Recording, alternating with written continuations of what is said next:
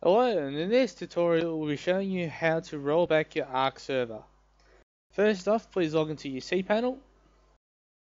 Once you're logged into your cPanel, go down to your game services.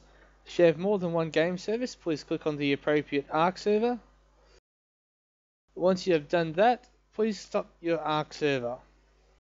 By stopping your server, meaning your server will not update or change any files that we'll need to edit. Once your server is stopped, please go down to the file manager. Please click on ShooterGame.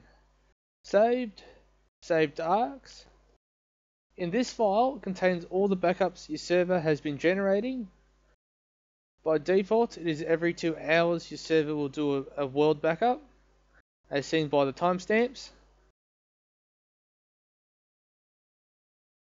The current file that your server uses is the island.ark. So if you're using the center or the scorched earth map, it will be the center.ark or the scorched earth dot underscore sorry the scorched earth underscore dot ark file.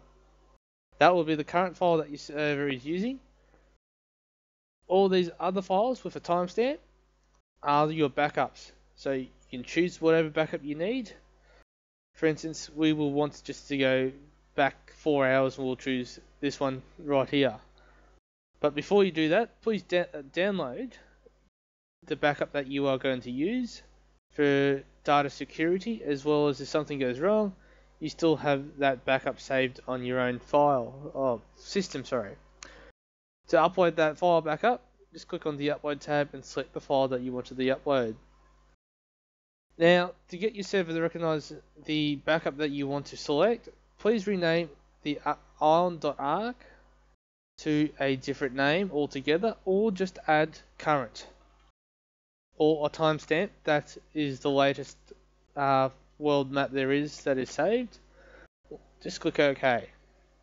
So that renames that. So if the server can't find uh, a file called the island.ark or the center.ark, it'll just generate a new one.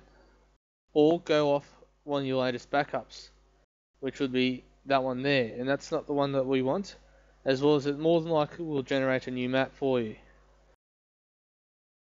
So we'll go back and we'll select this map, uh, this backup right here.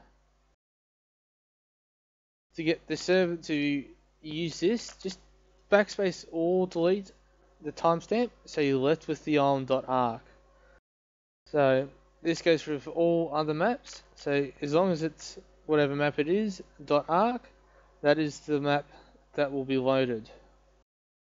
Once you've done that, just go back to your game service, press start, and you have completed a server rollback.